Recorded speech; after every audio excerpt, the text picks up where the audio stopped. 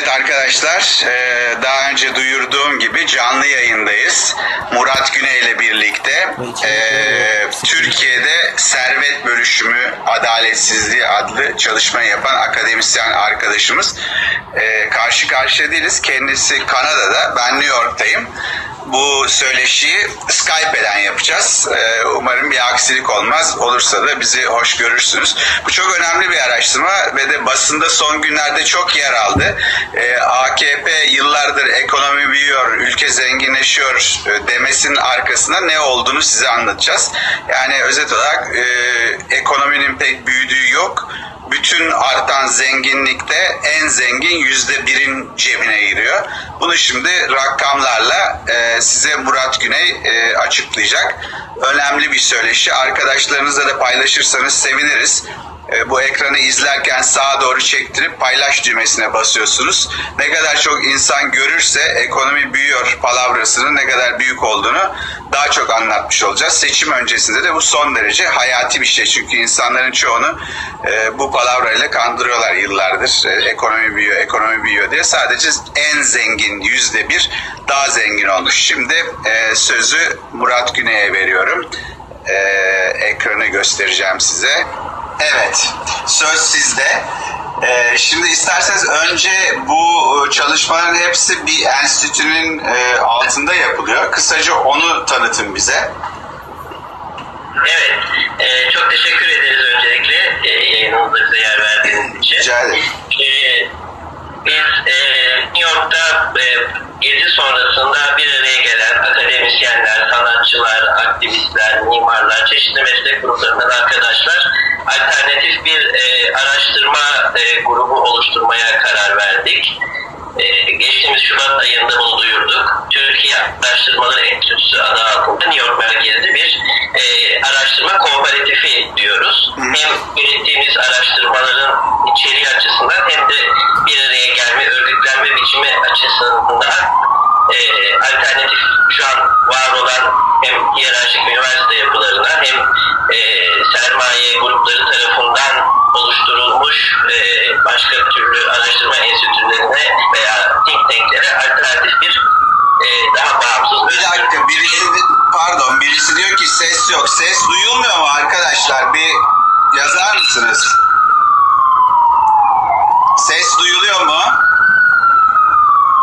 ee, neyse başka itiraz evet bence bir tek arkadaş duymuyor onun sesi yok tamam teşekkürler arkadaşlar duyuluyormuş bir kişinin sesi duyulmuyor diye kusura bakmayın evet, isterseniz bu e, enstitünün bir e, internet adresinde söylerseniz e, çok güzel araştırmalar var arkadaşlar. Yani hiçbir yerde bulamayacağınız. E, onun için girin ve bir göz atın. Nedir adresi? internet adresi e, RI e, yani harf harf söyleyeyim R I T U R K E Y nokta org Tamam. Hem İngilizce hem Türkçe. Zaten biz bunu e, siz de ben de kendi Twitter ve Facebook sayfamızdan duyuruz. Paylaşım yapamıyorum, yapamıyorum diyen arkadaşa e, sağ tarafa doğru ekranınızı çektireceksiniz. Paylaş düğmesi çıkıyor share diye. Ona basınca paylaşacaksınız. Biri de diyor ki sesi aç bakalım bir daha diyorum. Valla ses sonuna kadar açık. Daha fazla açamıyoruz kusura bakmayın. Bu kadar. Neyse tamam. Şimdi gelelim araştırmaya. Ee, şimdi bize... Yok evet daha iyi olur. Yani garanti olur. Peki. E, şimdi gelelim araştırmaya. Siz bize baştan kısaca bir anlatın bakalım. Evet. E, şimdi e, gelir dağılımı üzerine çok sayıda araştırma mevcut. Hem Türkiye İstatistik Kurumu'nun bir takım araştırmaları var. Aile Bakanlığı'nın var. Uluslararası çapta OECD'nin, Dünya Bankası'nın, e, IMF'nin bu konuda araştırmaları var. Ancak e, tabii tümü konusu yeni e, gündeme gelmiş bir konu. Bu konuda çok fazla detaylı veri de yok. E, ben bu konu üstüne bir araştırma yapayım istedim. Çünkü e, gelir dağılımı da her ne kadar e, ekonomik büyümeden insanların ne kadar faydalandığını, ne kadar faydalanamadığını gösteren bir gösterge olsa da servet aslında insanların toplumsal statüsünü ve e, siyasal etkisini de çok belirleyen bir e, gösterge olduğu için bu konuyla ilgili bir araştırma araştırmanın önemli düşündüm.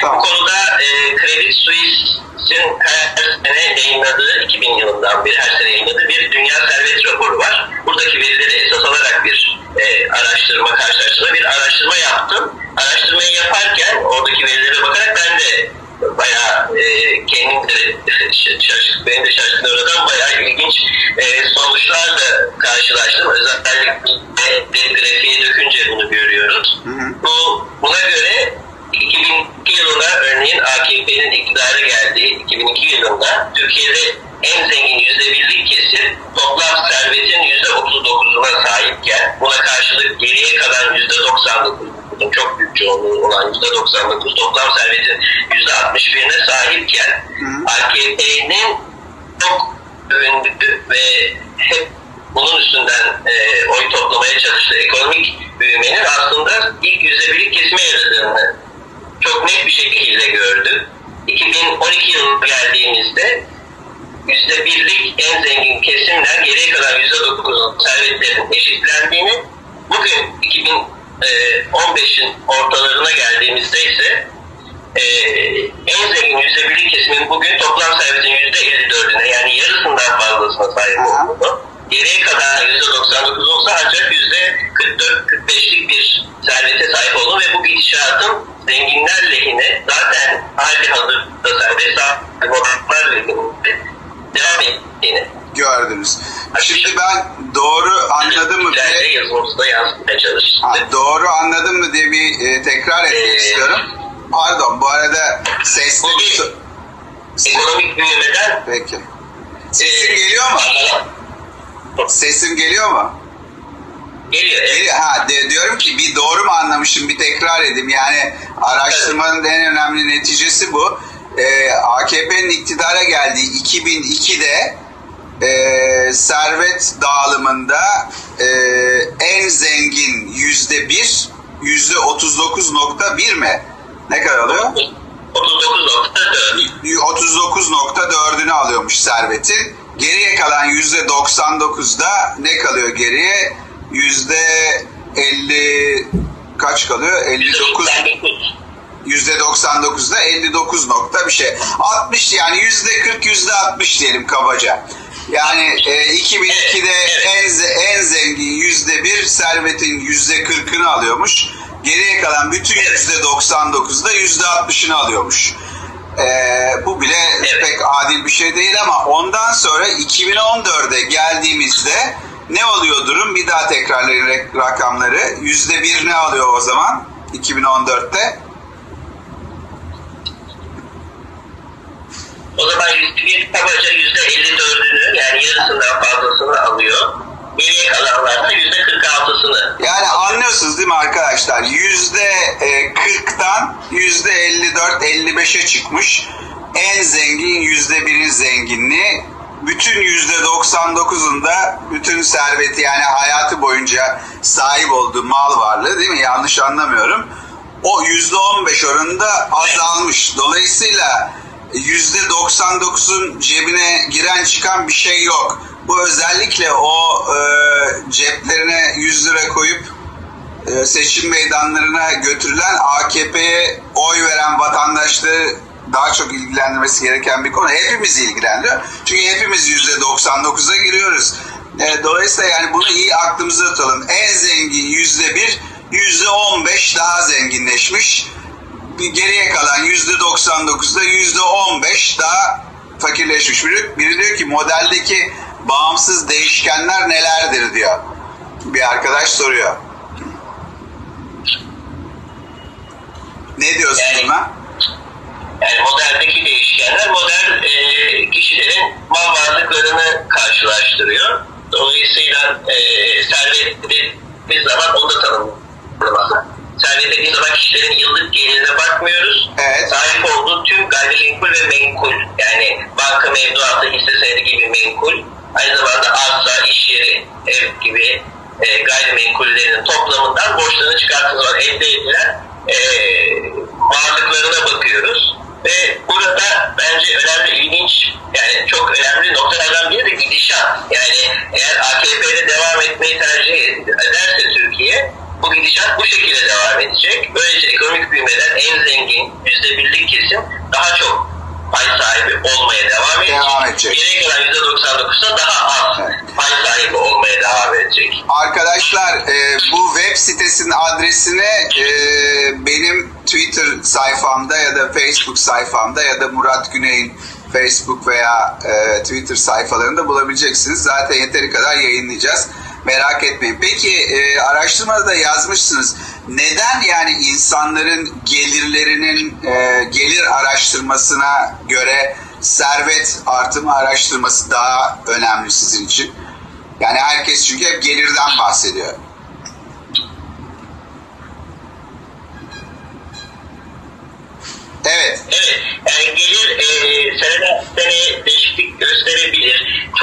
Mal varlığı olan birisinin e, düzenli bir geliri olmayabilir ve bu sanki e, o kişi istatistiklere bu şekilde yansıyacağı için o eşitsizliği bizim görmemize engel olabilir. Şimdi araştırmada bir de e, e, gelir işte servet dağılımı dengesizliğini, adaletsizliğini gösteren Gini katsayısı dediğimiz uluslararası e, katsayıya yer. Hı hı. Örneğin Türkiye'nin gelir dağılımına göre Gini katsayısı yüzde 40 civarında bir oran. Ancak zenginlik servet dağılımına baktığımız zaman bunun e, yüzde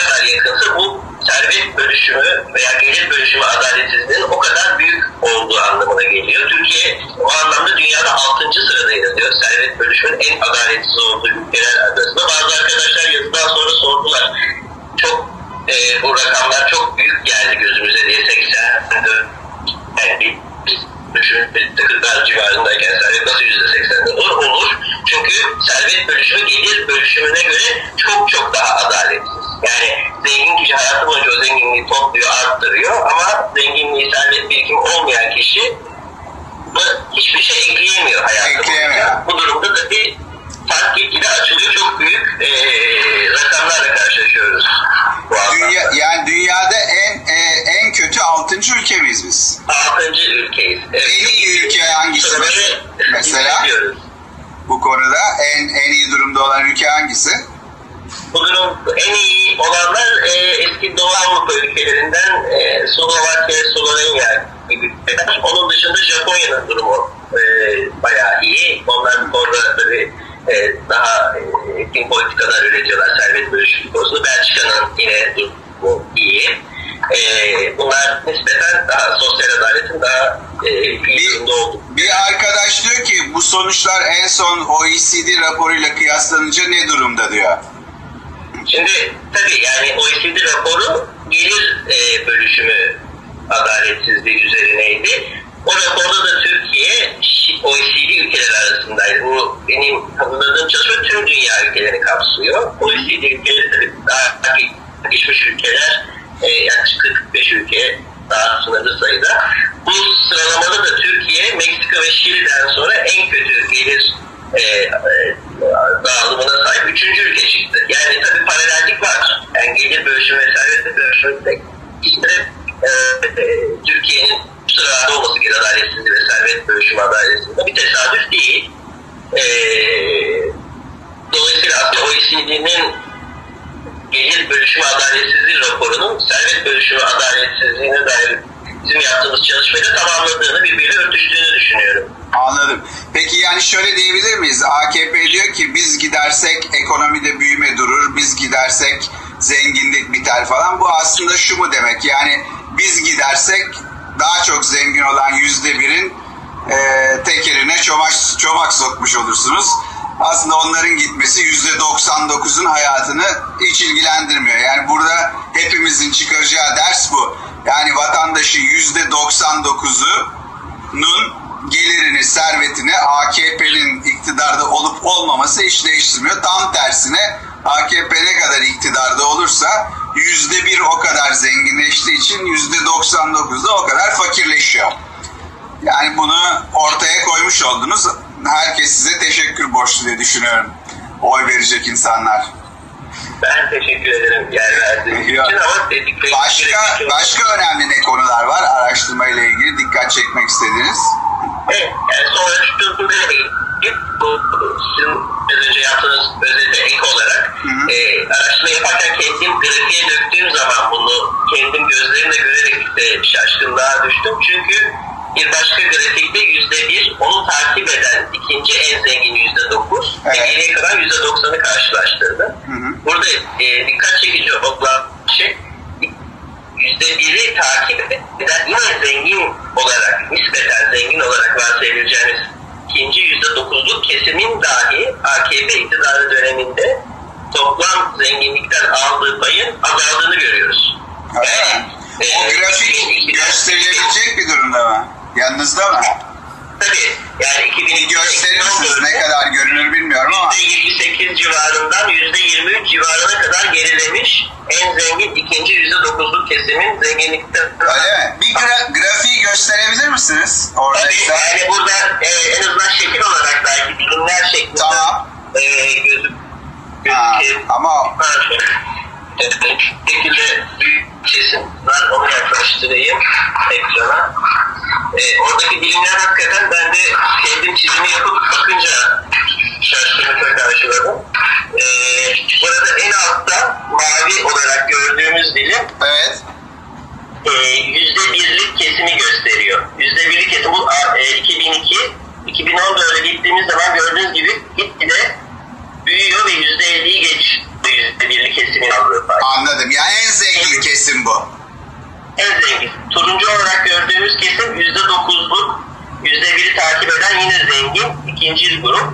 Onların payı yüzde e, %8'den yüzde 23'e doğru. Zaten geri kalan yüzde 99 zaten en dezavantajlı olan kesim. Anladım. Onların toplam payı 32'den 22'ye kadar düşüyor. Ama buradan çıkarttığımız sonuç e, büyümeden azami biçimde faydalanabilmek için sadece zengin olmak değil, çok çok zengin olmak gerekiyor. Anladım. Yani girmek gerekiyor. ikinci yüzde dokuza da girseniz indirebilirsiniz şeyi artık grafiği. Ee, yani peki bu ikinci yüzde dokuzun gelir dilimi nedir ya da servet e, oranı nedir? Ka- kaç paradan bahsediyoruz? E, bu kesim yani kabaca 100 bin dolarla 1 milyon dolar arasında. Arasında olanlar onlar bile Veya fakirleşiyor yani. 10 bin ile 100 bin arası Ha. e, oraya geliyor. Yani en zengin dediğimiz kesim zaten e, işte, e, benim kendi yaptığım, onu yazmamıştım ama kendi yaptığım hesaba göre yaklaşık 600-700 bin doların üstünde serveti olanlar ilk yüzde bire gidiyorlar. Anladım. E, 600-700 bin dolar üstü serveti olanlar ilk yüzde bire giriyorlar. Peki e, bak burada bu arada e, benim dikkatimi çekti. Yanlış mı anladım bilmiyorum ama diyorsunuz ki ortalama servet 4000 dolar mı? Evet. Vatandaş başına Evet, yani- Hepsi hepsi bu mu yani? Evet. Bütün Türkiye genelinde. Bu şu demek e, yüzde ellilik ortalama e, ortalama kişi yani yüzde ellilik dilimindeki kişinin geliri 4000 dolar. Serveti 4000 dolar. Bu şu anlama geliyor. Türkiye'nin yarısının toplam serveti 4000 doların altında. Adam başına. Aile başına mı? Adam başına. Adam başına. Türkiye'nin yarısının serveti 4000 doların altında. Yani kişi başına düşen gelir 10 bin olayı da hikaye zaten. E, Yani 40, 40 milyon kişi